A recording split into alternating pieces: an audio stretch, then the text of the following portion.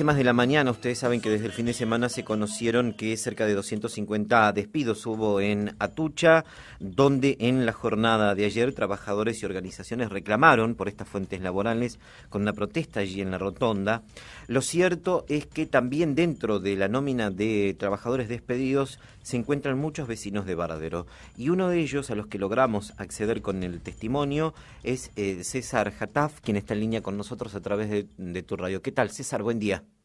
Hola, buen día, ¿cómo estás? Gracias por habernos atendido. ¿eh? No, está bien, no hay problema. Bueno, en principio contame, ¿sabés cuántos son en total de Varadero despedidos? Mira, eh, de Varadero serán unos 15. No sabría decirte porque todavía no pude encontrarme con ninguno de ellos. Eh, va, en realidad no con ninguno de ellos. Algunos, los que, por ejemplo, los que nos reunimos en la rotonda. Ajá. Y y la mayoría, ya te digo, eh, son de lo que es la unidad de gestión o la totalidad. Eh, y en este caso, en Varadero, yo sé que veníamos unos en el colectivo, por ejemplo, yo te puedo decir aproximadamente en el colectivo unos 10, unos 15. ¿Y todos desarrollaban la misma tarea o cumplían distintas funciones adentro de la fábrica? Eh, son diferentes funciones. son en por ejemplo, está el sector mecánico, está la parte, yo pertenezco al sector eléctrico, también cumpliendo dentro del sector eléctrico una función específica. Eh, están, hay administrativas y administrativos. Eh, eh, bueno, todas esas, funciones están dentro de un organigrama como en, una, como en cualquier empresa de proyectos, ¿no? ¿Vos estás adherido a Luz y Fuerza? Exactamente. Em, ¿Y qué ha dicho el sindicato con respecto a esto, César? Eh, mirá, el sindicato eh, lo único que ha podido decir hasta ahora que sí, que incumplieron, que incumplieron el, el convenio como primera medida y que bueno que la empresa en realidad desde el 2015 la empresa no, ¿no? El, propio Estado, desde el 2015, ha querido buscar la manera de, primero, de postergar los proyectos nucleares y segundo, a partir de ahí, empezar a, a, reducir el plantel de Nucleoeléctrica Argentina Sociedad Anónima. Ajá. Eh, y mm, ustedes esto lo veían, eh, digamos, se podía yo no sé si llamarlo ya que había un presagio, pero digo, ¿tenían eh, ustedes algún antecedente interno? ¿Sospechaban de que podía llegar a ocurrir esto? No, mira, antecedentes no porque nunca han, eh, al menos de esta manera, eh, nunca han despedido personal de planta permanente porque convengamos que nosotros somos personal del Estado en planta permanente. Exacto. trabajando en NASA. Así que desde el punto de vista si hubo algún precedente, no. No hubo nunca eh, que hayan eh, despedido a alguna persona, a ninguna persona, de la manera que fuimos despedidos, porque acá rompieron tres artículos importantes del convenio colectivo de trabajo, de los cuales uno de ellos es el artículo 51, donde menciona la estabilidad laboral. Después, por otro lado, hay un artículo eh, que dice que si a vos te despiden sin justa causa, te ponen, hay una, hay, hay una fórmula a donde te dicen que te pagan el 1,4, eh, o sea, tu sueldo, eh, viste, normal de indemnización por 1,4, y eso hace que, bueno, uno se vaya con una indemnización eh, un poquito más abultada de la normal. El tema es que en el 2007 eh, a través de ATE eh, sacaron una, un acta, hicieron un acta donde la empresa incluso lo homologó y el Estado también en aquel momento, de lo que es estabilidad absoluta del empleado, eh, el, de alguna manera derogando ese artículo. también saltaron eso. Y por otro lado, ya te digo, en el artículo 14 bis de la Constitución dice que eh, el empleado del Estado guarda una estabilidad laboral. No lo, eso no respetaron nada. Así que desde el punto de vista, desde ese punto de vista, la empresa incumplió.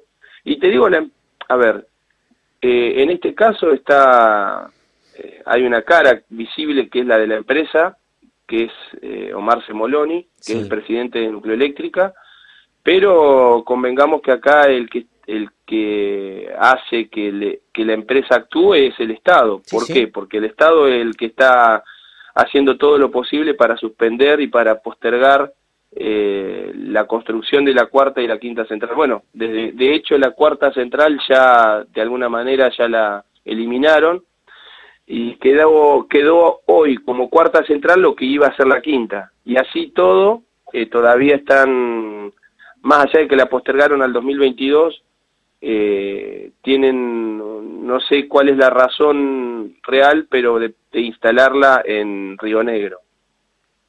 Eh, ¿Y ustedes creen que, eh, digamos, esto se va a concretar? Porque yo la verdad que digo, eh, desde el año 2015 hasta esta parte, Atucha ha venido sufriendo de todo, ¿no? Porque eh, digo, pensar lo que sucedió con Wokra en su momento, vos recordás, con la construcción de Tucha 3, que es su proyecto que quedó ahí nomás. Digo, ¿por qué el, el, Estado hoy piensa como si fuese una especie de desmantelamiento de todas estas empresas, no? En realidad el Estado lo que quiere, en el caso de, las, em, de lo que corresponde al Estado, ¿no? El Estado en este caso quiere desmantelar todo lo que sea tecnología emanada del Estado. Eh, en este caso, el hecho de desmantelar el, el como es el, el o los proyectos de las centrales nucleares, lo que está desmantelando también es la, la capacidad que hay a través de los recursos humanos que hoy cuenta la empresa de, de, o sea, de desmantelar eso, ¿no? De desmantelar todo lo que significa en recursos humanos que después puedan llegar a servir para el para la construcción de una futura central. Eh, eh, acá en este caso hay ingenieros, técnicos, eh, ingenieros, bueno, de todo tipo, ¿no?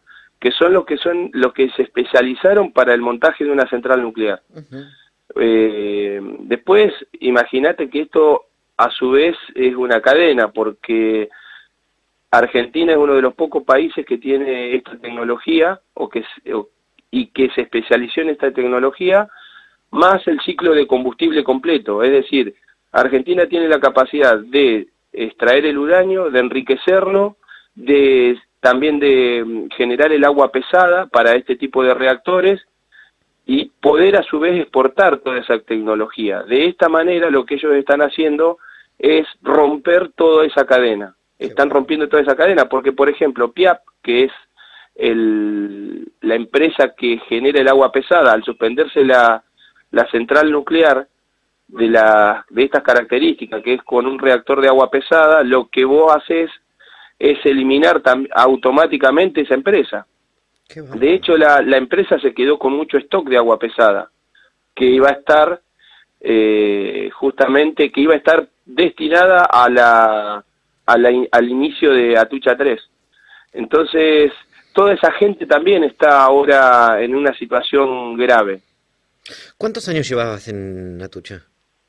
Eh, mirá, en este periodo fueron 11 años. Yo inicié mucho más joven, a los 20 años, 21 años, al, en Atucha, cuando se recién se eh, inició el proyecto, bueno, iban 10 años del, del inicio de Atucha 2, de la construcción de Atucha 2, y en el 94 pasó lo mismo que está pasando ahora, un poquito menos grave si querés. Eh, bueno, Menem y Caballo cerraron el proyecto.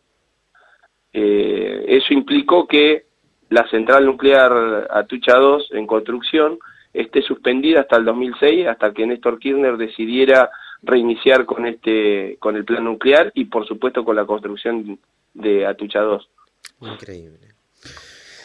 Eh, mira, a ver, la reflexión a todo esto es que una vez más, eh, el, porque acá no estamos hablando del, porque si hablamos del Estado, el Estado es otra cosa. acá es un gobierno, un gobierno con una, con un pensamiento de características neoliberales, que bueno, es una palabra por ahí muy gastada y capaz que la gente eh, necesariamente no sabe exactamente lo que es decir neoliberal, pero un gobierno, pongámosle liberal, que mm, liberal significa, por ejemplo, libre mercado, ese libre mercado significa también que esté abierto a otros países, eh, al contrario de, cerrarse un poco, como se están cerrando a nivel mundial los, los diferentes países y sobre todo las potencias, eh, y quieren ir a una economía más primaria, agroexportadora, y segundo, que por ejemplo las, las, las cuestiones energéticas están ligadas directamente a diferentes negocios que tienen que ver hoy con algunas personas claves de, también del Estado o del gobierno. Eh, estas son, por ejemplo, las termoeléctricas, por eso también en ARSA lo están desmembrando como, como organismo del Estado o como sociedad anónima del Estado, dejando en cada termoeléctrica 20 personas para operar. Eh, con todo lo que significa dejar 20 personas, eh, una son son plantas que si bien es cierto no es una central nuclear, necesitan un mínimo de seguridad para poder operarla y sin embargo están haciendo diagramas para operar con lo menos posible. Y después la tecnología eólica, que también no, no, no generan demasiado, por supuesto que le genera rédito al, al, a los que los montan y a, los, y a los dueños de, eso, de esa tecnología porque le siguen vendiendo al Estado eh, después del mantenimiento. Y esta central en este caso, estas, este tipo de centrales son de bajo, de bajo costo de mantenimiento, va tomando en cuenta lo que generan, ¿no? Sí, sí. Eh, son el mantenimiento se diluye un poco más con la con el alto, o sea, con la alta generación y, de esa manera se abarata.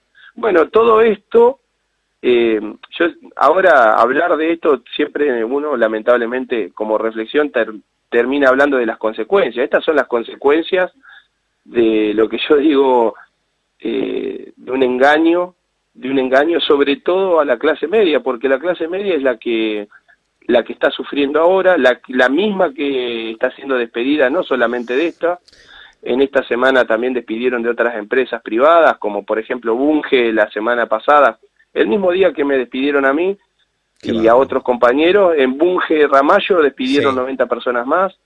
Eh, de, un plantel más, de un plantel un poquito más grande que van a despedir, ¿no? O sea, pero de, ya 90 familias se quedaron sin su sustento laboral, así que esto eh, es para también un poco aprender, ¿no? La, la clase media tiene que realmente darse cuenta y sobre todo la trabajadora, que si bien es cierto existe entre comillas esa famosa meritocracia de la que dicen, eh, cuando vos estás eh, en una en una empresa no depende de vos la meritocracia, depende de una decisión política que no va a, a, mediar con vos si te tiene que sacar eh, cuando les convenga o no económicamente. César, gracias por este contacto. Bueno, que tengas buen día, gracias. La palabra de César Jataf, un vecino de Varadero.